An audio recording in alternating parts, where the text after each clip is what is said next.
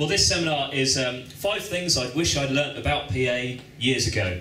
Um, these are things that Pat and I, we put our heads together and we went, you know, if I was starting out again, I wish I knew this. Um, so we're going to take these. Um, so, Pat, do you want to kick us off, please? I'll sir? kick us off.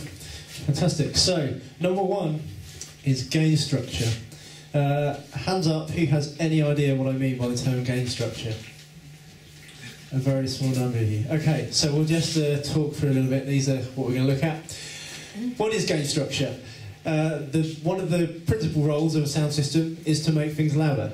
We do that by converting an acoustic signal to an electrical signal with a microphone and then increasing the level of that electrical signal before we turn it back into an acoustic signal with a loudspeaker. Uh, we also have various other tools such as sound desks which sit in the middle of that. All of these devices are designed to work at different electrical signal levels. So a microphone produces a very low level, we boost that to what we call line level at the sound desk, and then the level that needs to drive a, a loudspeaker is going to be significantly higher than the level that comes that is generated by a microphone. What do I mean by level? It's very simple. We, we turn an acoustic signal, which is a fluctuating pressure, into an electrical signal, which is a fluctuating voltage, and we're simply looking at what is the maximum displacement, the peak displacement of that voltage. So a microphone is a transducer which turns an acoustic signal into an electrical signal. The electrical signal it generates is typically very low. Uh, I will explain line level in a minute, but we're, we're typically looking anywhere between about 10 to 40 decibels below line level. So this is really a very weak electrical signal. Line level, which is the, the level that most pieces of electrical audio equipment are expecting to work with, is defined as a nominal voltage of 1.228 volts root mean square. Uh, you don't really need to know that, it's just a figure. Uh, on your sound desk, if you're looking on, a, on, on the meters in your sound desk, this corresponds to about plus 4 dBu, uh, which is just in the little yellow blips on your, on your LED meter. Power level, which is a kind of, it's not really a technical term, but it's a useful word to describe it. This is the level that is output by an amplifier that drives a loudspeaker, uh, and this is going to be significantly higher. And we get between these various levels with several stages of amplification. So at the input to a device such as a sound desk, we have a head amp or preamp, uh, and then at an amplifier that drives a loudspeaker, that, that's an amplifier, that's again, it's increasing the signal. So each amplifier stage is taking a signal and it's just increasing that voltage. Why is gain structure important? So gain structure is all about how we increase that voltage as it moves through our system. How we do that consistently, how we do that evenly, how we do that in such a way that the whole system functions as it's supposed to. Uh, and the main reason gain structure is important is because this is the primary purpose of what we designed a, a sound system for. Uh, and it's, it, if we get this wrong, nothing else is going to work. Uh, you know, you're going to encounter so many problems with everything else you're trying to do with your sound system if your gain structure is in the wrong place. So our two kind of core goals to gain structure, we want to achieve the best signal to noise ratio. So as sound travels an electrical signal through your system, various uh, no- kind of interferences induced, uh, and the stronger your signal, the less effect that's going to have. The second thing we want to do is avoid clipping or distortion. So various electrical components in the system are designed to operate at a certain voltage. If we put too high a level in, they're going to start to clip or distort and they won't function properly. So really what we're aiming to do is, is at each stage of amplification achieve the right level of gain to sit between those two problems and there's a nice little sweet spot in the middle. How do we set gain structure? Uh, the first and most important thing is nothing to do with any of your knobs on a sound desk. It's to do with placing your microphone in the right position. Now, there's a whole session later uh, in, in the main hall with musicians where we're going to look at this in more detail. Uh, so I'm just going to kind of introduce the concept here rather than explain it.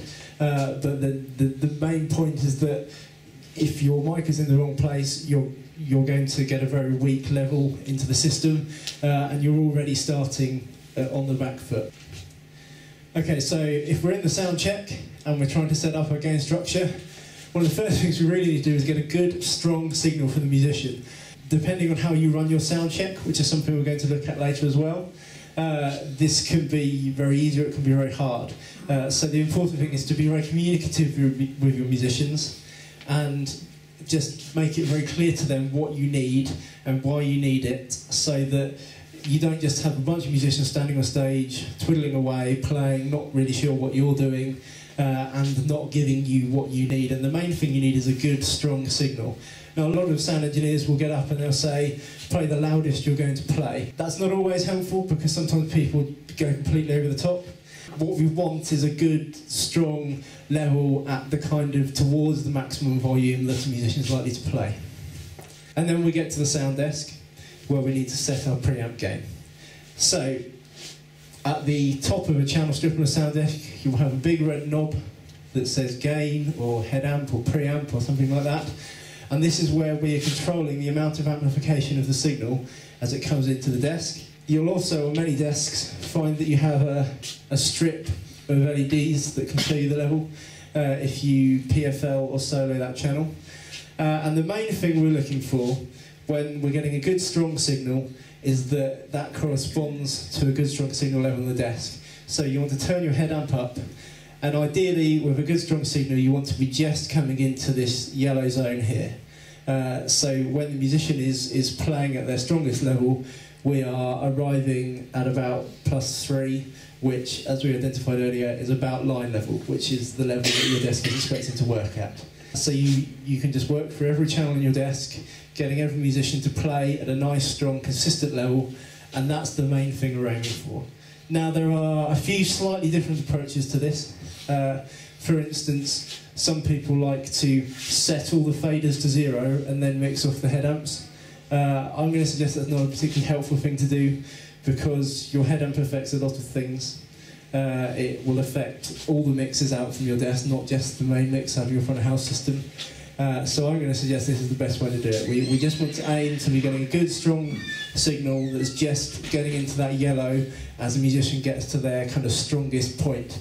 Now when they're playing quietly, it won't be up in the yellow, that's fine, that's not a problem. Uh, the, the main thing is that, that when, we're, when they're playing at their loudest, we're getting a very good strong level here, but we're not getting up to this red, which is where your desk starts to clip or distort and adds a lot of nasty noise. Setting power amp gain, I'm just going to talk about this very quickly. This is something that you wouldn't necessarily do on a regular basis, particularly if you have a, an installed sound system. Uh, but the, the other part of the amplification is the power amp, which is what drives your loudspeaker. Uh, sometimes, for instance, in speakers like this, it can be built into the speaker. We have a little power amp actually built into the sub in the back here. Other times it might be a completely separate box which is connected to the loudspeaker. Uh, what are we trying to achieve with power amp gain? Uh, it's a similar kind of thing. We want to make sure we're getting the best possible signal to noise ratio, uh, and we want to make sure we're not clipping or overdriving or distorting anything. Uh, so the way I would normally go about this would be to produce a nice consistent line level signal out of your desk. Uh, again, the amplifier is expecting a line level input, so uh, just a CD or something like that that you can put at a nice consistent line level and then we're just going to adjust the output level of the amplifier so that we are getting a comfortable level. Uh, you can do this with, with a CD, you can do this with the band playing, there are various ways of doing it. Uh, but the main thing we're, we're ensuring is that we're not driving the amplifier too hard and then having to pull the level right down on the desk so it's not too loud. If we do that, what we're actually doing is we're transmitting potentially over quite a long cable run from the sound desk to the amplifier, a very low signal level, uh, which could be lots of noise could be occurring on that. Uh, or if we're not driving it hard enough, you're going to run out of volume. No matter how hard you push it on your desk, you may end up clipping your desk to try and get it louder, uh, and you still can't get enough volume out. Uh, over to Tim. Thanks, Pat. Uh, how does this work? There we go. Brilliant. Um, so now we know about gain structure, I want to talk about what do all the desk controls do. I'm going to do a very, very quick overview. Usually I would do this in about two hours, um, and it's a lot of fun. Um, but we're going to have as much fun in much shorter amount of time. So the first thing we're going to do is channel gain and EQ. I'm going to swap mics and I'm going to demonstrate this.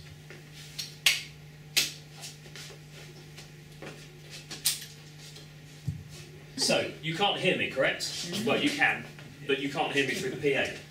So, the first thing I'm going to do, um, as Pat was saying, is I'm going to grab my gain control. Um, now, the way I sound check, uh, which is what Pat was talking about a minute ago, is I'm going to stick my fader to minus five. Then I'm going to grab my gain, because the gain, as Pat says, increases the amount of volume, amplifies the electrical signal coming through. Now, I'm not doing this by the meters in, um, straight away. The meters are important, as Pat said, because if I'm hitting the red in the meters, I'm distorting everything. That's bad. We don't want red lights.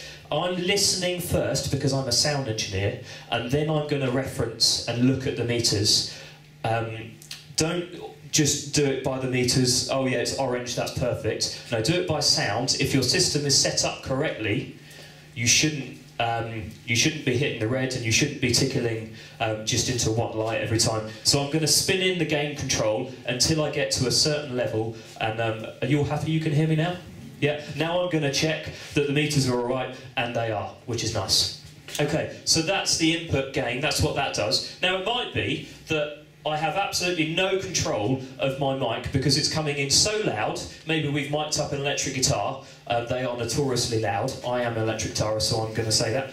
Um, it might be I just have no control over it, and my my um, my dial here is right the way down as far anti-clockwise as it will go. In which case I'm going to use my mic line pad, which is going to change the gain structure and it's going to give me the ability to, um, to change the scale of it. Imagine it's graph paper, and rather than using lines kind of 1 to 100, I'm only able to use 1 to 5 because my gain's so high, that's as much control as I've got. If I hit the mic line pad, I'm changing the signal structure, um, and it means I'm changing where in the graph paper I'm able to work. And I want to be able to get a nice, um, consistent signal so I can use every single line on my graph paper. Some mics need phantom power. Um, particularly DI boxes as well, they'll need um, phantom power. This is just a 48 volt signal that's sent down the, um, the cable uh, into the mic. This mic doesn't need it because it's dynamic. A condenser mic, uh, which is perhaps something we're going to put on a flute or uh, a wind instrument like that, or maybe a choir mic or a lectern mic, they will all need phantom power. Um, hopefully you'll know when uh, if you need phantom. If you're unsure, you can just stick phantom on because you're not going to electrocute yourself. Um, I have done, that's a story for a coffee break. Um, polarity inverse here.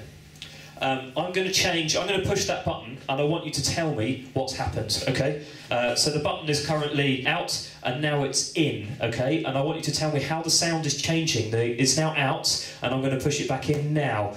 Oh, there was a little pop there, but what's changed to the sound of my voice? It's now out again. Okay, any, any ideas? What's changed? Yeah, just clipping the treble out. It, uh, it clips a little bit, okay, and the treble out of it. uh, takes a bit of the treble out, okay. Any other takers? People shaking their heads. What does that mean? Does that mean you don't know? Shifting the phase by 180 degrees. I'm shifting the phase by 180 degrees. Yes, but what's it doing sonically to the sound? And what's the audible change? Nothing. Nothing. People saying Muffled. muffled. Okay. Um, well, the honest answer is it's not doing anything um, to one mic. If I have two mics, then it will change. For example, if I'm double miking, this is quite a rock and roll thing to do, I'm sorry. If you double mic a snare drum, one top, one bottom, or you do the American president thing of having two mics on a lectern, um, if you knock one of those out of phase, it doesn't matter which one, um, it will change the sound. Now, there is no right or wrong answer as to what, uh, in which settings you should inverse the polarity. Um, if it sounds right and you like the sound of it in one way, that's the right way to do it. If you don't like the sound of it, then don't do it. Um, yeah, hopefully that makes sense. Can I Um, just yes, very quickly? please. Where's the air clicker? Just to explain in a little more detail exactly what's going on with that, we'll go back to my uh, this picture. When we hit the polarity reverse button, if this is your signal, what we are literally doing is turning this upside down. So we would get a wave like that. So rather than going up first, it goes The down gentleman at the back said we are shifting the phase by 180 degrees. This isn't quite technically correct. Phase is frequency dependent, uh, so there is no way uh, to shift the phase of every frequency in a wave by 180 degrees simultaneously. Uh, it's, it's, it's not practically possible from a phase effect. So what we're actually doing is inverting the polarity of the signal, uh, but it's it's the same effect if we could possibly simultaneously invert the phase of every frequency by 180 degrees. There we go. Thanks, Pat. Now, butt out. It's my turn. Thanks. You like driving. Um, okay.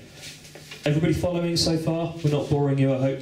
Um, 100 hertz bass cut. Can you hear? My mic is a bit boom, boom, um, bit boom in the in the low end. So I have this button that says um, 100 or HPF 100. Actually, the button's in. This is what it sounds like with it out, and it's Barry White. And now I'm going to stick it in, and there's a slight change right down in the low frequencies. It's just got a little bit, little bit less boomy, um, which is really helpful. But what happens if I've got it in at the moment, um, and I'm cutting out that bass? But I, I, still need more tonal control. Well, here are three frequencies that I think are brilliant for a vocal. So if you've got a pen and paper, you might want to write these down. Um, this is a starting point, and it's not gospel, okay? Um, so it's just a suggestion that I find helpful. So please don't um, think this is going to work every time. Okay, first thing I'm going to do uh, is I'm going to turn my EQ on. Uh, you see at the bottom here we have an EQ bypass. I need to make sure that's not in. Um, so I'm going to boost my low frequency. Here we go. Oh, that's a big room, isn't it? Jumping in the back. Um, this is the low frequency. I, I can't even. There we go. I'll take it out. Um, it's really boomy um, and it, in a vocal useless. So I'm going to wind that straight out. Um, on any vocal mic, wind it out. In fact, I'm going to wind it out on everything except a kick drum, uh, you know, the bass drum, uh, a bass guitar or double bass, maybe a cello, um, a keyboard that has been DI'd, i.e., not a grand piano that's mic'd up, and anything that's playback, so an iPod or a CD or a DVD or a hello, yes. What do you mean wind out? Uh, I'm gonna. Um, I have the ability. So thank you. Um, I have. You see here. I have. This is zero at 12 o'clock. I'm not cutting or boosting my signal anyway. If I add it, I'm going to wind it clockwise and I can go up to 15 decibels more on that particular frequency, which in this case is 100 hertz. If I cut it, then I'm winding it anti-clockwise as far as I can and I'm taking that frequency out. Thank you, great question. Um, so my, uh, so I'm going to get rid of the bass. My three frequencies then are 300 hertz. Hello. Are you getting rid of the bass completely, or just? Yes, I'm getting winding it right out because there's nothing in my voice that helps you to uh, for the intelligibility. so I'm just going to get rid of it. Um, problem with cables. Okay, uh, 300 hertz is the first frequency I'm going to go to, and this is what it sounds like if I boost it a bit too much. It's getting a bit nasal and a bit boomy, um, but it's not quite so nasty boomy as it was. And if I take some out, then I'm going to take it the other way. This is what it sounds like without. So it's a bit thin, a bit bit nasal and nasty. Um, so for my voice today, I think I'm going to set it about there. Um, for somebody who stands back from the mic a little bit, I don't like that. I want the mic in the mouth. But if you do uh, have people who insist on holding the mic back a bit, you can add that in just to add a bit more warmth into the sound. I'm going to bash through. Um, the next one I'm going to choose is 1000 hertz. This is the uh, the train on platform three is coming in. Um, that's 1000 hertz, and if I wind it up, it gets really nasal and train stationy. That is a word. Um, I don't like that, um, so I'm going to wind some out a little bit. Of course, if I wind too much out, it sounds nasty as well. So I've got to be careful not to wind too much out uh, for today. I think, yeah, about there sounds all right. Of course, I have to check off the speaker because I can't quite hear it. That sounds about right. Yep. Um, the other one I'm going to do is 3,000 hertz. Uh, so 300, 1,000, 3,000. And I'm going to find that and uh, what I'm doing is I'm using the green control and I'm choosing my frequency uh, and then I'm on my mid sections here I'm just using the blue one to add or subtract that particular frequency. Um, my high frequency, if it's a bit too then I'll wind that in or out accordingly. Um, generally I'll just keep it straight at 12 o'clock because I'm lazy. Um, so this is what 3000 hertz sounds like Everybody all right? Yeah. So just say what the green, the green and the blue. On the green one, I choose which frequency I want to use. Which um, one did you choose? Uh, both the low mid and the high mid, um, cross over on each other. So I'm going to use the one that gives me most control. So to be honest, it doesn't really matter as long as I don't choose the same frequency on both, cut one and boost the other. Um, perhaps I'm going to look at 1000 hertz in the low mid, which is actually the limit of this. Um, Presumably a simpler desk will just have single control. it could do, yes, indeed. Yeah, and the problem with with something like this is so many desks operate in a different way, um, but these are just suggestions that I find helpful. So I'm unclear what your suggestion is when you get that choice. Okay. Um, if I need both 1000 hertz and 3000 hertz control, then I have to put 1000 hertz in one and 3000 hertz in the other. Um, if I only need one, then really it doesn't matter which I'm choosing. If I'm choosing 300 hertz, then I'm going to have to do that in my low mid because my high high mid won't get down that far. It will only, I think it starts at 500, um, but that's desk to desk. It will change. Hello. So, is it, the desk you're playing with there, is, is that got three green adjustments and, and the one that's only got two? Uh, no, it's exactly the same. Okay, so I don't know if I get it, you've got, only got two green buttons to adjust. Uh, yes, I only have two on this one as well. So what I'm doing is I'm going to say, of my three frequencies, I only have the ability to choose two of them at a time. So I'm going to choose either 300 or 1000 in my low mid, and in my high mid I'm going to choose uh, 1000 or 3000. So I just have to work with the best I've got. A bigger desk will have even more scope. Um, I find that the uh, the 1000 works quite well on male vocals and the 3000 a little more on female On vocals. female There's vocals. a bit of a kind of register thing there that works. There we go. So I'm going to boost up the 3000 hertz now, just so you can hear what that sounds like. It's pretty, um, pretty shrill. To be honest, if you're unsure about EQ, as I say, wind out the low and then stick everything at 12 o'clock. Because if you've got a great sounding singer or instrument, you've got a great sounding speaker system, then you just can't go wrong. Um, next thing I've got is my auxiliary outputs. Now, obviously, I've got my main outputs, which are sending to my main PA. Um, but as I work down my channel strip, I also have these auxiliary outputs. And in the same way that in the armed forces you have main troops and auxiliary troops or reserve troops, these are reserve outputs or auxiliary outputs. Now I can split these into one of two ways. I can either have a pre-fade auxiliary or a post-fade auxiliary. A pre-fade auxiliary is where I can spin into my, um, my monitor, for example. Here's a monitor. I happen to have it on a stick um, just to make it a bit easier.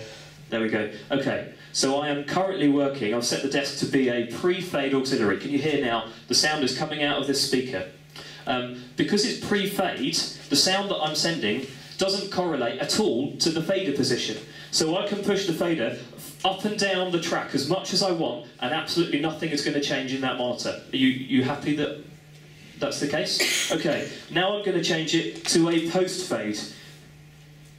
Now it's post-fade, and as I pull the fader down, oh look, my, uh, my mic level in this speaker, my monitor, has changed. So that's the difference between pre-fade and post-fade. A pre-fade auxiliary is not affected by the channel fader, whereas a post-fade is affected. In fact, it's proportional to.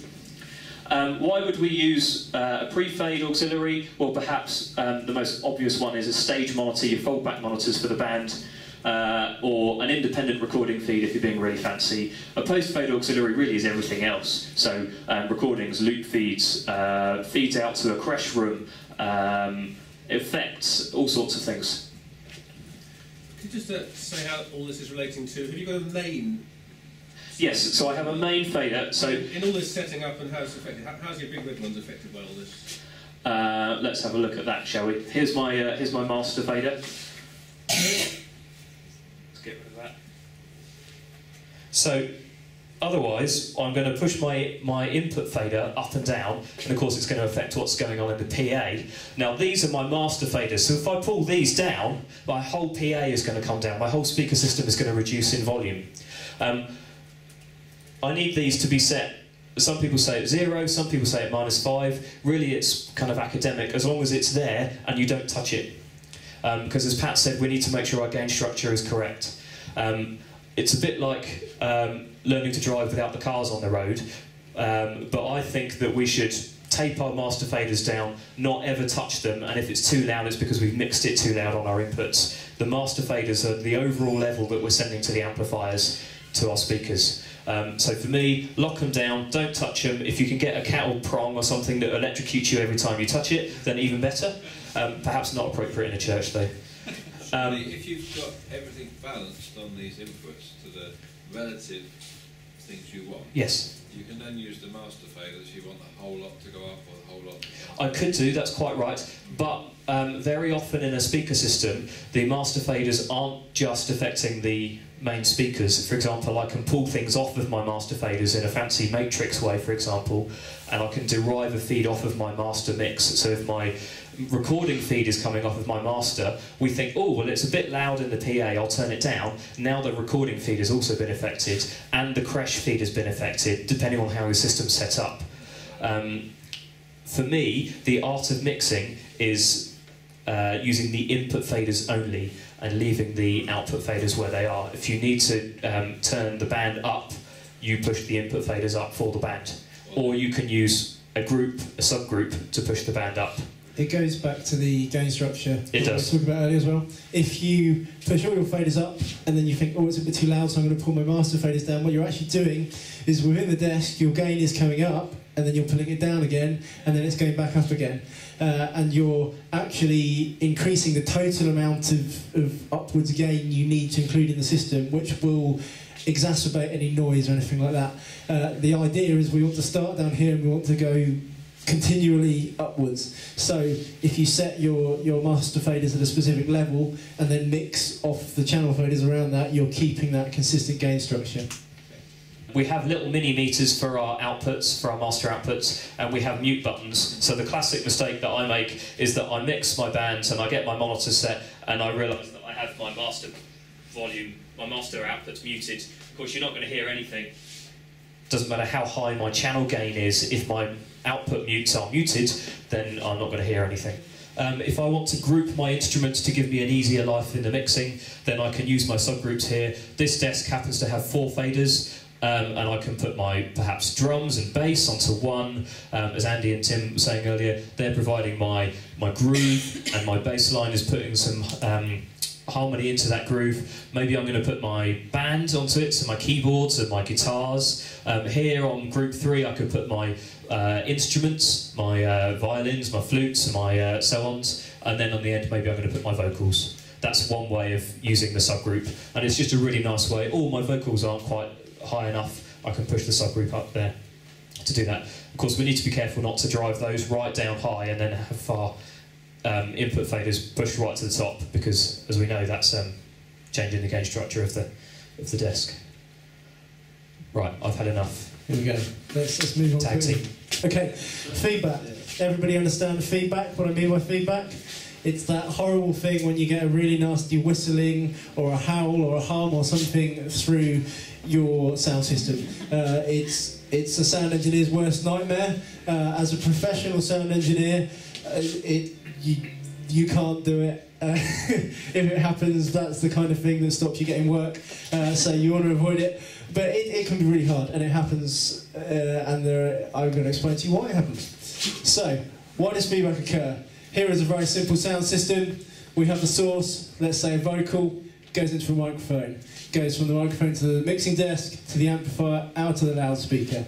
The problem we have is that the sound coming into the microphone is not just the sound coming from this source, it's also sound coming from the loudspeaker.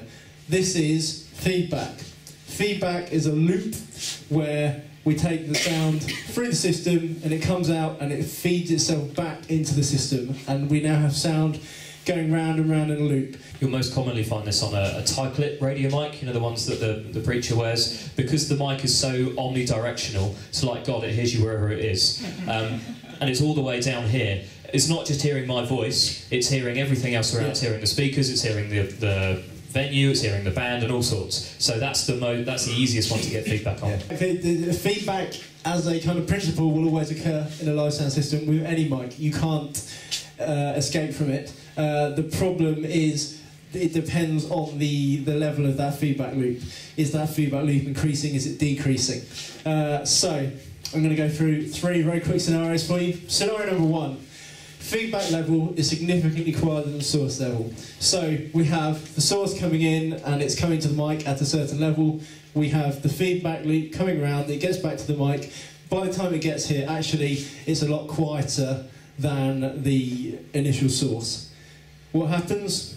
The feedback loop is rapidly diminishing. There's no noticeable ringing or howl or anything. This is happening right now. I'm talking into this microphone, it's coming out of these loudspeakers. This microphone can hear these loudspeakers, but we don't hear the nasty effects of feedback because it's so much quieter from these loudspeakers than it is from my mouth because I've glued it right to my face. Uh, we'll talk about mic technique later, but this is a good thing to learn. Scenario number two, feedback level is only slightly quieter than the source level. So what happens now is that the feedback loop, it, it's still going to diminish, but as I talk, what you'll probably hear is a slight ring off the end of, of everything I say. Uh, and so we have a loop and it's going round and it's going to start to ring, but it's not going to get out of control. It's not going to produce some horrible howling rings. Uh, this is not very pleasant. It sounds a bit weird, uh, but it's, it's, it's not the worst case scenario. Scenario three is the worst case scenario. Feedback level is the same as or louder than the source level. So now I'm talking to the microphone. It's going through the system, out to the loudspeaker, and there's so much gain in this system that by the time it gets back from the loudspeaker to the mic, actually it's louder than the source I'm putting in. So now what's happening is that every time it goes around this loop, it's getting louder and louder and louder and louder, and it's going around this loop hundreds of times a second, uh, and you're going to get that horrible, nasty ring or howl that just carries away, and it'll keep getting louder and louder and louder until the system can't get any louder, or until the clever engineer finds which channel it's on and turns it down. Yeah, so feedback loop is increasing, growing uncontrollable ringing issues. This is the nightmare. This is what we want to avoid. How do I stop it? You can't. Feedback always occurs uh, in any live situation. Uh, as I say, this mic can hear these loudspeakers. I can't stop that happening, but if I understand how feedback occurs, I can take actions to avoid and limit its effects. As hopefully you can see, we're demonstrating right now, we're not getting horrible feedback. Sorry? We did try and demonstrate it We to did try and ourselves demonstrate it. Actually, this system's so good, it's almost impossible. there we go, there we go. We've managed to achieve it. Okay, gain before feedback. Uh, gain is the increase in acoustic energy generated by amplification through a sound system. Gain before feedback is the maximum achievable gain before we get that nasty ringing. So this is the limit on how much essentially we can turn a source up through our sound system.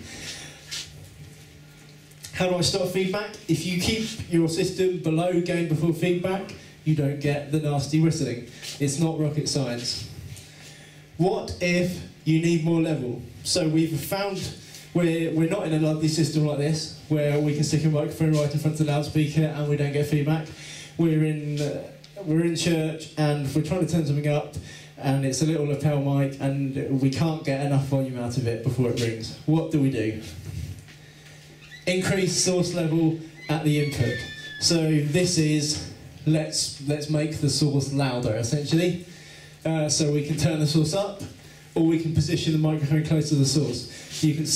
We know that sound decays over distance. As the microphone moves away from my face, you can't hear me as well. The closer the microphone gets, the louder it's hearing me. Now, it's still hearing the sound that's coming out of the system the same volume, but it's not hearing me the same volume. If I were to then try and turn the system up so you could hear me clearly, we would get to that point where we get to gain before feedback and it starts whistling. So if I move it closer, I've increased, but I haven't increased gain before feedback, but I don't need to put as much gain into the system because the microphone is already hearing me louder. What else can we do? Improve gain before feedback. Uh, you can reposition the microphone. If, the, if I'm stood over here as a vocalist, this is a dangerous place. We know this system's quite safe. Most sound systems, you probably couldn't get away with doing this. Uh, so you can try repositioning the microphone and the speakers. This is why you always want to be stood behind the line of the loudspeakers rather than in front of it as a performer.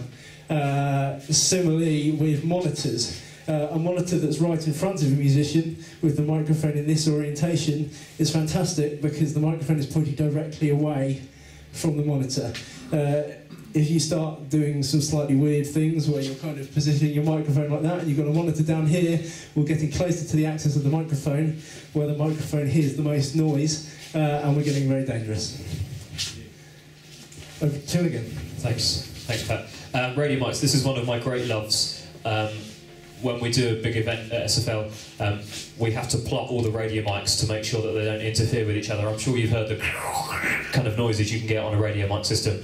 Um, my job at SFL, what I partly get paid for, is to stop that happening on our gigs, which um, usually involves sitting at a computer and waiting for the program to run its course. Anyway, um, what is a radio mic? Uh, a radio mic is a transmitter, i.e., the mic, um, and a receiver, uh, which we happen to have sat at the back here.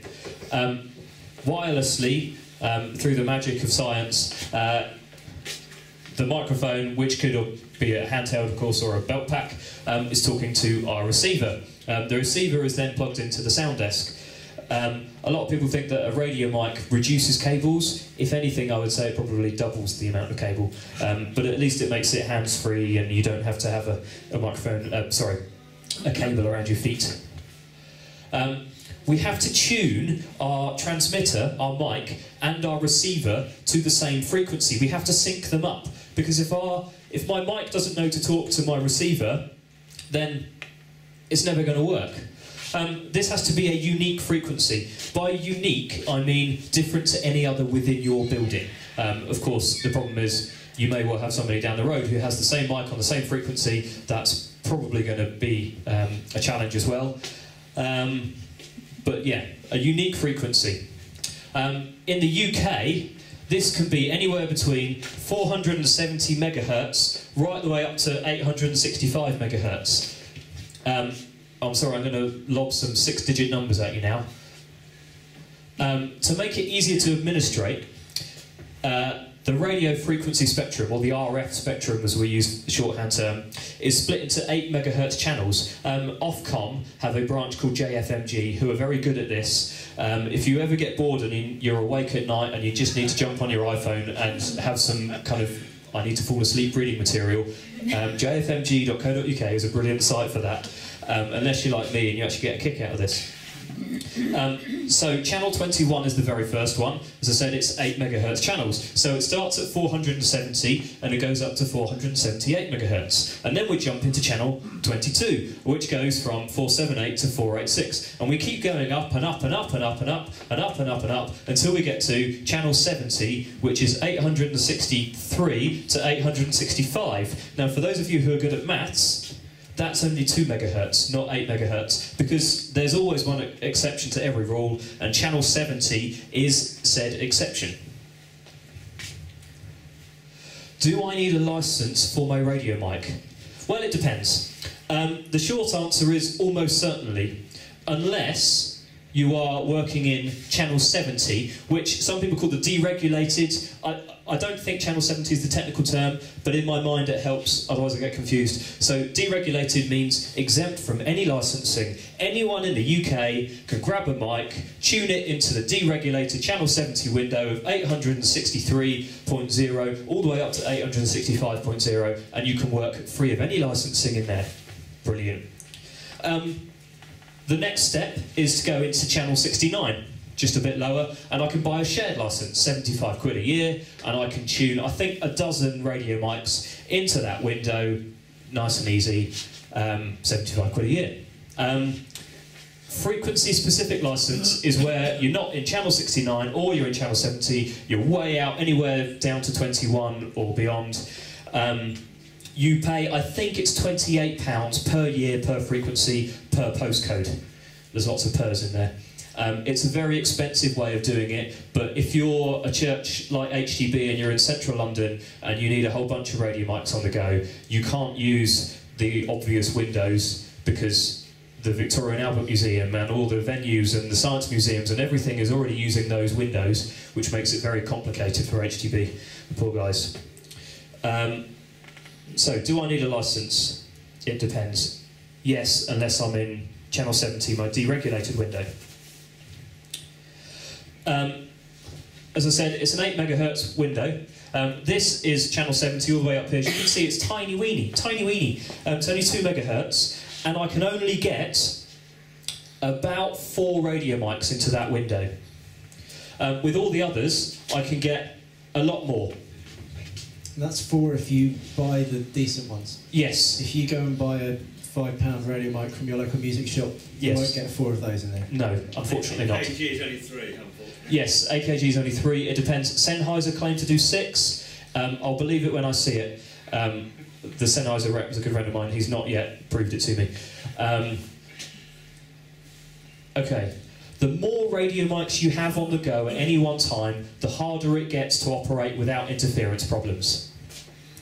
Um, the interference problems are actually called intermodulation frequencies. Um, as you can see, this is my software that I've taken a quick screenshot of. These, um, I plotted, what is it, seven radio mics into this window here, um, into one channel, and all these little white dots are the harmonics produced by that radio mic. You know when I hit a piano and I get a note out of it, I don't just get one note, I get all the notes associated with that, um, the harmonics. It's the same with a radio mic, unfortunately. Um, these are the interference patterns, and if my harmonics start to clash, that's where the interference comes in. That's um, a real challenge. Um, so, in the really, really big worlds where we do an event for Hillsong and they need 40 channels of radio mic, um, we have to use an RF plotting software to do that, um, and then you have to pay somebody probably to do it. Um, it took me about three years to learn this software because it's really clunky and nasty. Anyway, I'll stop ranting. Uh, gentleman at the back has very kindly um, teed this up for me already. The digital switchover has changed everything. So in a world where I could, um, a couple of years ago, I could buy a radio mic up here in channel 70 and it exempt from any licensing. If I need a few more, I, I've got my four, oh, I need a fifth now. Oh, that's all right. I'll just buy a channel 69 shared license just here and I'll tune my radio mics down into that nice and easy. Well, unfortunately, I can't do that now. I can either buy a, a radio mic that can tune into channel 70 or I can buy a system that will tune all the way down here into channel 38 and its associated um, channels. Um, so, if I'm buying a radio mic, I have two choices. I know in five years' time that I need um, more than four radio mics.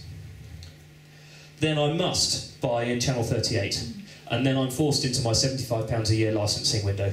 Otherwise, uh, if I know I'm ever going to be running on four, that's fine. I'll stay up at the end, unless, of course, you're in a part of the country where you have real problems in that window. Um, so I want to summarise very quickly. Radio mics need a transmitter and receiver. They've got to sync up. Um, four systems. There's some suggested frequencies. I think they're in all the manuals of all the radio mic books that are out there. Um, if I need more systems, I've got to look at a shared license. Um, obviously, I've got to get my frequency correct in a quick setup way. I've got to get a good line of sight between my transmitter and my- receiver. I was in a church the other week, and um, the church office was through a, a door, down the corridor, 50 paces on the right, turn left again, and there's the office, and the radio mic receivers were in there, and they were wondering why their radio mics always went. And yeah, you've got to have a good line of sight, otherwise it won't work. Um, walls aren't very good with lines of sight. Um, my gain structure, I've got to get my mic set up properly. Again, it's the same thing that Pat's been um, talking to us about. Get my mic set up correctly, um, and then I've got to get, so that's in the mic, and then I've got to get my receiver set up correctly and get the output of that. For larger systems, um, radio mic uh, antenna distributions are a godsend. Must use them, I would suggest. Rechargeable batteries, probably not that helpful. Um, some people do it and it works well. Most people do it and it doesn't work so well. Don't use them, would be my suggestion, because they're more likely to fail mid preach, and that's bad. Fantastic. We have about one minute remaining, so I'm going to fly through this. If you have any questions, we have a Q&A session later. It's too loud. Uh, hands up, guys here who actually mix in church on a Sunday. A few people. Right. Keep your hands up. Sorry, uh, take your hands down if you've never had this complaint. Fantastic. Uh, Tim, are you taking notes? We need to employ these people. Yeah, okay. it's too loud. Uh, this is this is a very common issue in churches. What do people mean when they say it's too loud? Here's a few ideas of the different things people mean. Uh, when people say it's too loud, that sounds like a very simple statement. Actually, it can be incredibly complicated. There can be a lot of different things people mean. Uh, the volume is causing physical discomfort. The volume is distracting or overbearing. Volume risks hearing damage. Uh, these, these two particularly, I, I think, are quite serious. This is perhaps a little more subjective. Uh, somebody dislikes the musical style or ambience, or they, they just don't want to hear noisy instruments. For some people, if they can hear the electric guitar, it's always going to be too loud. It doesn't matter how loud it actually is. Uh, these are a little more subjective. How serious are they? It, I, it's it's going to be very different to different churches, depending on what your church is, is trying to do, what the kind of consensus is. Uh, there's a lack of clarity. This is a kind of semi-serious. Um, this can often people often associate when they can't hear something clearly. They, they think, oh, things are too loud. Uh, if I can't hear the vocal clearly, it's because the drum kit's too loud. Uh, it, it might be. Uh, it probably isn't. Tim's going to talk in a seminar later about a lot of things to do with clarity in church sound systems. Uh, so some of these are things we need to take seriously. Some of these are things that we need maybe take less seriously. Uh, these particular, I want to talk about these kind of issues. Before we do this, let's understand how we measure loudness. So sound pressure level is, is the uh, scientific measure of how loud something is. It's measured in a unit called pascals. It's a physical pressure. Uh, it, uh, sound fluctuate is caused by fluctuation in air pressure, and we measure the the magnitude of that fluctuation. Uh, we usually describe it in decibels.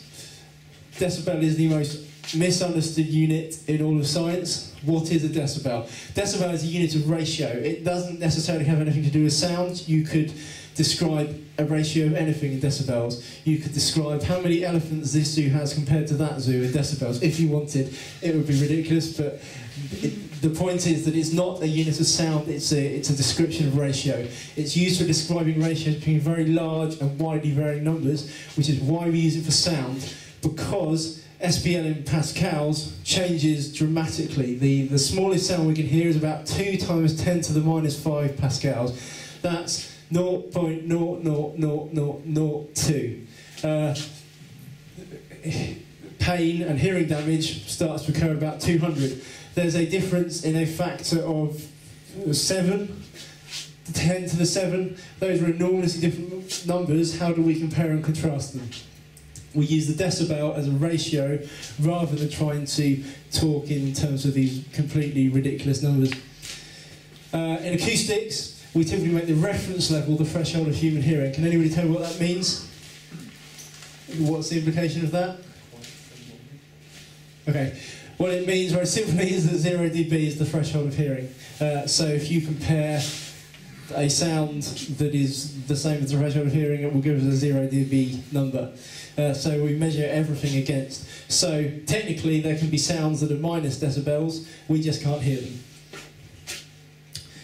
The threshold of pain occurs at about 120 decibels, but people will report physical discomfort. They may describe it as pain at lower levels. Uh, to be honest, this is completely subjective.